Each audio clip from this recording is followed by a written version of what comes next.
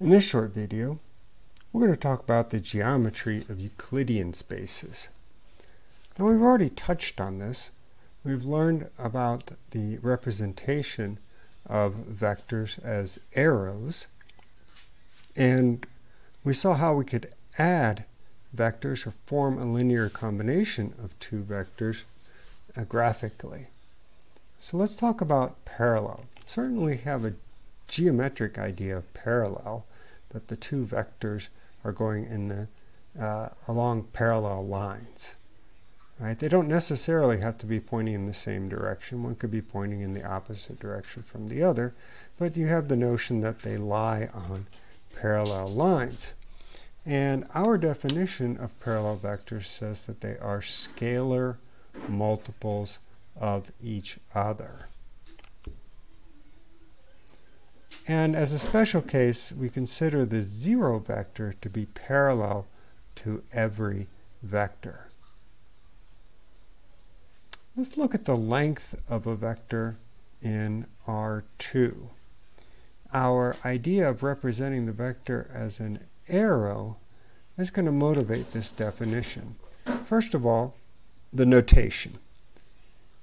Uh, we use these double bars, like double absolute value signs, to represent the length of a vector. And it's just going to be the square root of the sum of the squares of the components.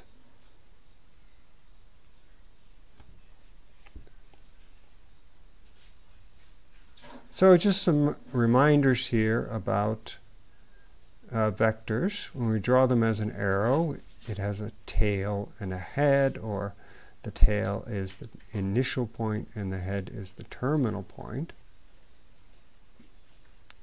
So let's use our definition and try to understand where this definition comes from. Well, we've seen this vector with components 4, comma 10 in a previous video. That means I can draw a right triangle with one leg 4 units, the horizontal leg, and the vertical leg 10 units long. And so if I wanted to find the length of the hypotenuse, which would be the length of this vector v, I could use the Pythagorean theorem. I could say that the square of the hypotenuse is the sum of the squares of the legs, or that says that the length of the vector would be the square root of the sum of the squares of the legs. And the lengths of the legs are the components of the vector.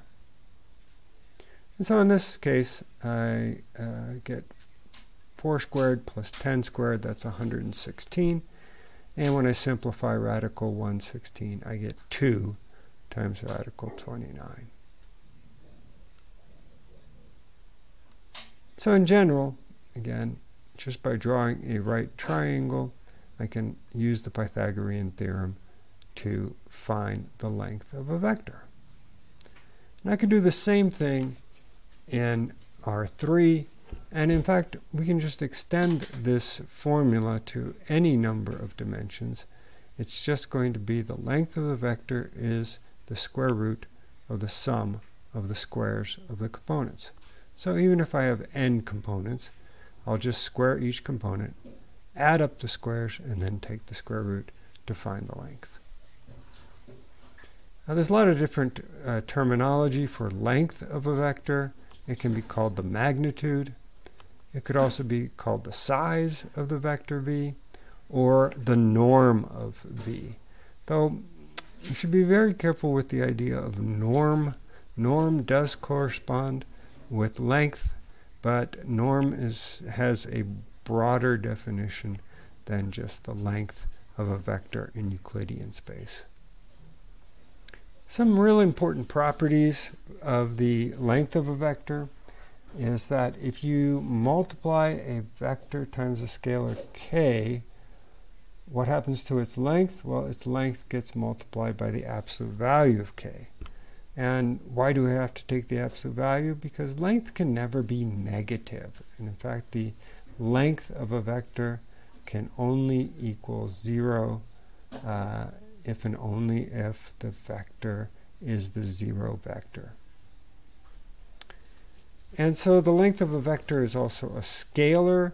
So as opposed to vectors, where we really only have at this point uh, addition, subtraction, and multiplication by scalars, the norm, or the length of a vector, is just a scalar. So you can do any scalar operation with it. You can multiply two lengths, divide two lengths, raise them to an exponent.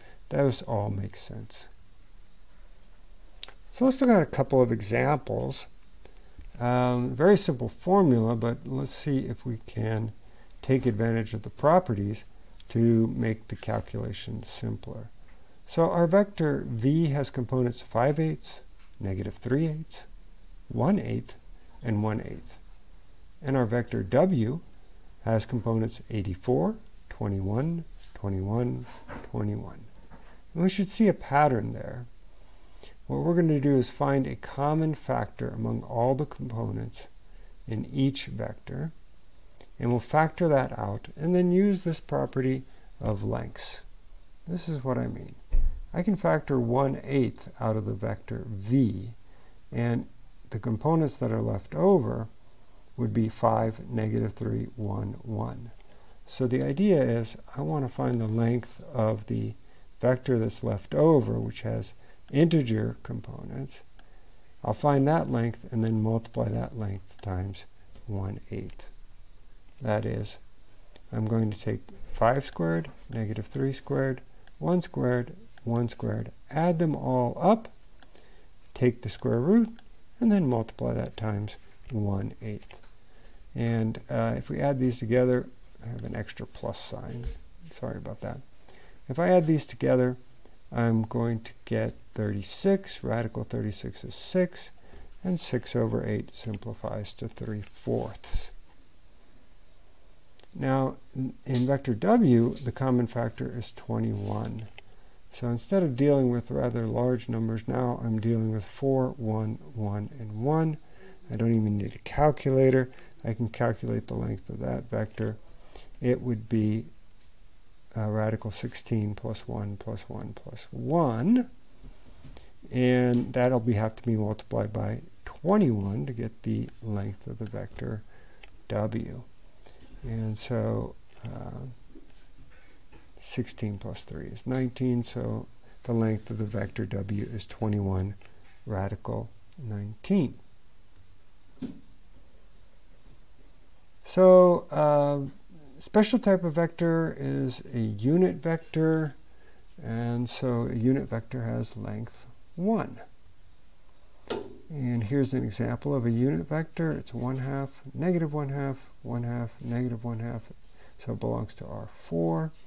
And if I calculate its length, uh, using our formula, the square root of the sum of the squares, I get the square root of 1 fourth plus 1 fourth plus 1 fourth plus 1 fourth, which is the same thing as the square root of 1, which is 1. Now, just as an aside, or to emphasize what we learned before, we can use this property of vectors that we can factor out a common factor. So in the vector v in the previous example, we could factor out 1 half. What's left over is just 1 negative 1, 1, negative 1. And so to calculate the length of v, I could just uh, take the square root of this 1 squared plus negative 1 squared plus 1 squared plus another negative 1 squared. That'll give me this 1 half times square root of 4, which is just going to be 1. Now, if you're given any arbitrary vector v, which is non-zero, right? So I should have said that, clarifying it now. Any non-zero, so let me go ahead and just write that in.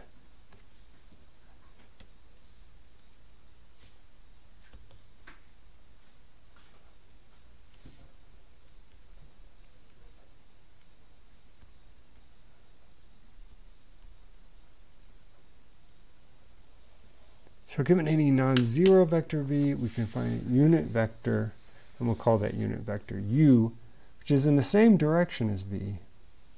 And we'll get that by multiplying by 1 over the length of v. So we write that as uh, u would be 1 over the length of v times v. So let's find a unit. Let's find a unit vector in the direction of v, which has components 2, negative 1, 2. So I need to first find the length of v, just using our formula, square root of the sum of the squares of the components. And that works out to be a nice integer 3. So I will just get a unit vector by taking v and multiplying it by 1 over 3. That will be a unit vector, and it will be a unit vector in the same direction as v. Well, I hope you found this uh, video useful, and we will uh, apply this idea now when we talk more about lines and planes and linear combinations.